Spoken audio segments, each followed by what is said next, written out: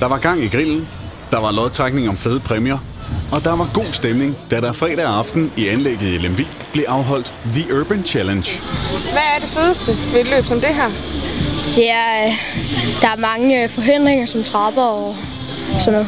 Det er simpelthen forhindringerne, der er de fedeste. Ja, det er sjovt. Er det også det, der gør det lidt sejere end andre cykelløb, det her med, at de skal køre på trapper og den slags? Ja, Og du er slet ikke bange for at styre det eller komme til skade eller noget? nej. Vi har lavet en, anelse om på ruten. Vi har lavet, øh, vi har kørt 500 meter af den, og den er blevet, øh, mange vil nok sige, at den er blevet øh, sindssyg. Og det er den også.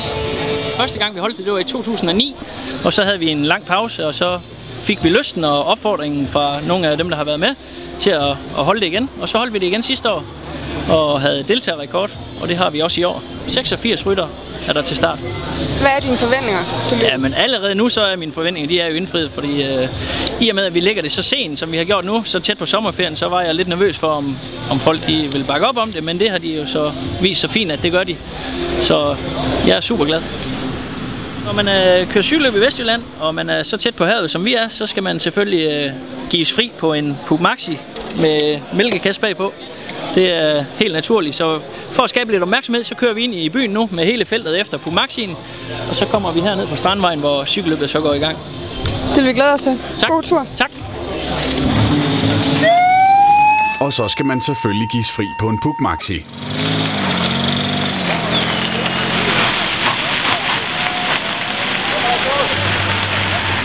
Og som sagt, så gjort.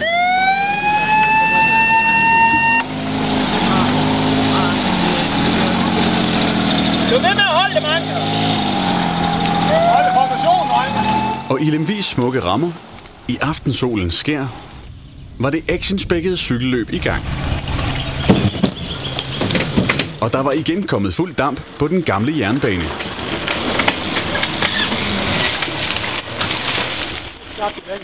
Hverken hårnålesving eller trapper var for stor en udfordring for dagens deltagere. Og selvom teknikken er i orden, kan mekanikken jo svigte.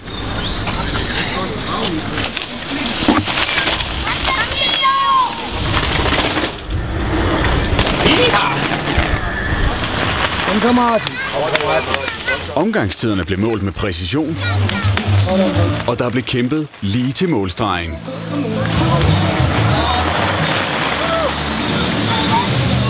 Anders Hillesø fra kører også i mål. Jeg tror, det er vinderen, vi har i mål her. Ole Vesters, Team Flammen, MTV.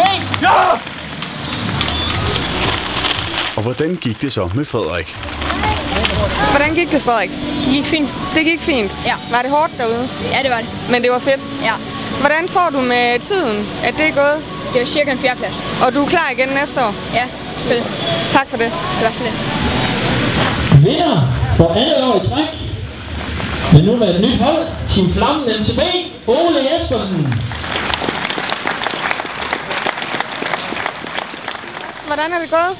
Jamen, jeg synes, det er gået over næsten over al forventning. Jeg ved godt, det er lidt klichéagtigt at sige, men, men det har bare været perfekt. Perfekte rammer, godt vejr, deltagerrekord og ja, ingen uheld, så vidt jeg lige har hørt nu. Så Nej.